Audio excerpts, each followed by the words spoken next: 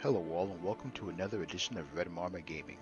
As always, I'm the Red Marmot, and today we are taking a look at sea monster hunting in Black Desert Online. This is going to be a brief overview on some tips and tricks to sea monster hunting. For starters, sea monster hunting can only take place in the uncharted seas, so that's everything outside of the main seas, the Nox Seas, Balenos Islands, etc. Everything north of Lema. In particular, this region that I'm marking here is a good spot to hunt sea monsters. In that location, you'll find things like hickaroos, some cads, the occasional Nineshark, and small ships here and there. Sea monster hunting can be very lucrative for a guild. If your guild is interested in sea monster hunting, you should get very familiar with the Uncharted Sea. And today I'm going to show you a few things that you may or may not know about this Uncharted Sea. First off, you want to head towards Lema Island or that region. And the region we're going to be in is an area I like to call the Ross Sea Islands. They're a series of uncharted islands just beyond Lema Island that I previously marked on the map there. Right now, you can see the set of islands that is the southernmost part of those uncharted islands. In that area, you'll encounter a lot of hickaroos, cads, and the occasional small ship. But all sea monster hunting is fairly lucrative on its own. Each monster has a chance to drop 100 mil in silver for the guild, and their parts and medians are also pretty lucrative as well. However, the parts do vary in price, and of course the easier the sea monster, the less expensive it is but all sea monsters do in fact drop Nedians, which tend to be around 100,000 silver each. So if you can get a series of Nedians, it is also lucrative. Right now I'm going to show you the best ways to go about attacking sea monsters. It actually is not the cannons, and this has become pretty well known knowledge. Charging is effective. Here though I'm going to show you two methods. QWT is what you need in order to charge. Charge is the basic skill you learn first out when you take to the seas.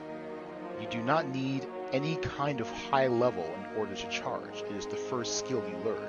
Other skills come later. As you can see here, I'm using QWT. The reason I'm doing this is because with QWT, you're able to charge from a standstill. You back up, and you charge. Back up, and you charge. When you're backing up, you want to position yourself in such a way as to follow the movements of the sea monsters.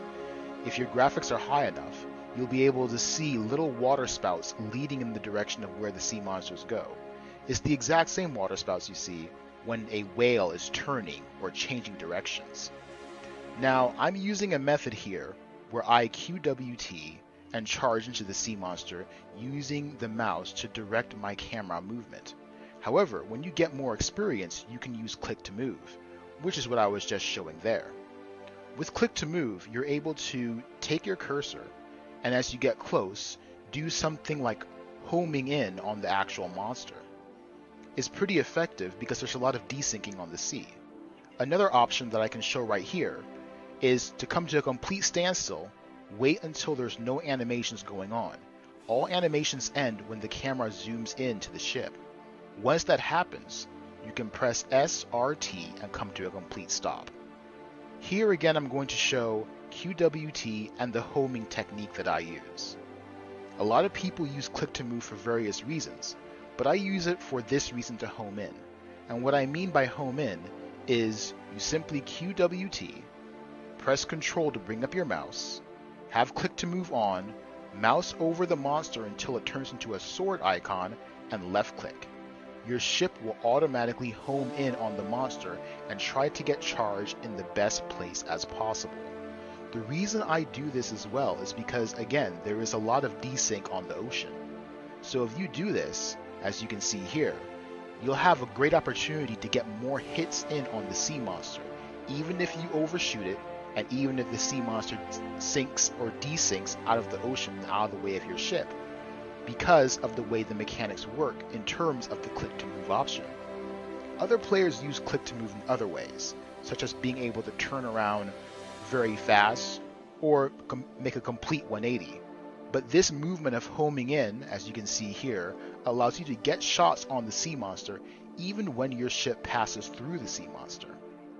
Now the trick with QWT and charging, as you can see from the minimap, is you want to charge as soon as the sea monster is within or slightly just within but not outside of the white circle that's outlined on your sea map in the area to the right. You want to make sure that the sea monster is able to be hit while within. You don't want to undershoot your charge, and you don't want to overshoot it either. But again, when you get comfortable with the click to move method, you will be able to charge at sea monsters and still hit them if you click appropriately.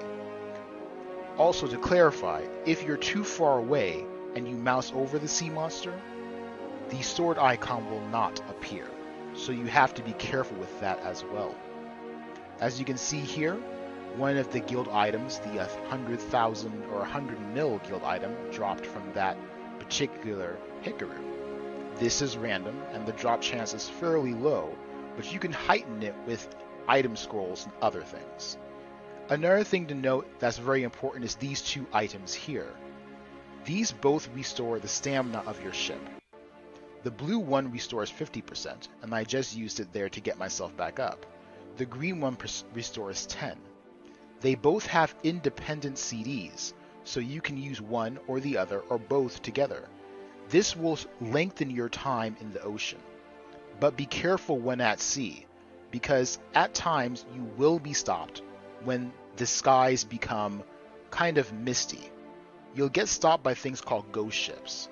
Ghost ships can be taken out by cannons, or if you're hunting with friends, by other ships charging them. Additionally, you can get away from ghost ships by simply going to your character select screen, and they will despawn. When you're out in the ocean, it's also important to take the correct provisions with you. Things to repair your ship, and other things such as the breezy crystals, which you can get from completing sea monster quests, which come from Velia and Epheria, or crafting them yourself in Epheria. Most of these ship parts and the ways to build these ships, such as the one I'm driving here, come from places like Epheria.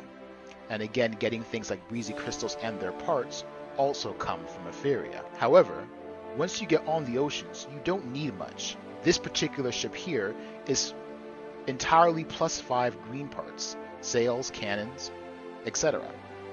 It's nothing fancy, yet is capable of getting the job done.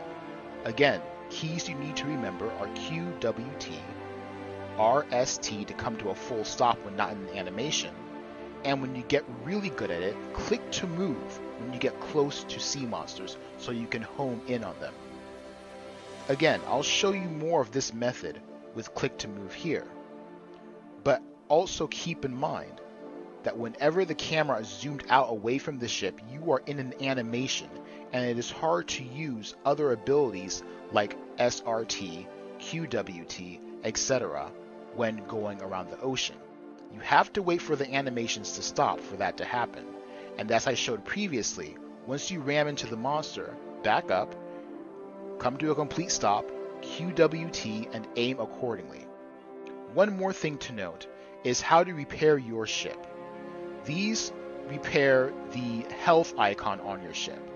You can get these ship repair parts from simply processing any type of timber, not logs, but timber, maple, cedar, ash, anything works. Process it twice in order to get ship repair tools. Once you're on the ocean, this gives you time to repair your mass while waiting for your breezy crystals to come off CD, and you can spend an entire lifetime on the ocean. Thanks for watching, and subscribe if this video was helpful to you. As always, I'm the Red Marmot signing off.